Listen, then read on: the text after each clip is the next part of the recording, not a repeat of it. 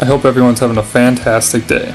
This one's a quick video of a climb called a bedtime story at the nursery crag in Sullivan's Canyon. It's a 5'8 with a variety of crack and face climbing. You can even throw an armbar in the wider crack if you're so inclined. I hope you guys enjoy.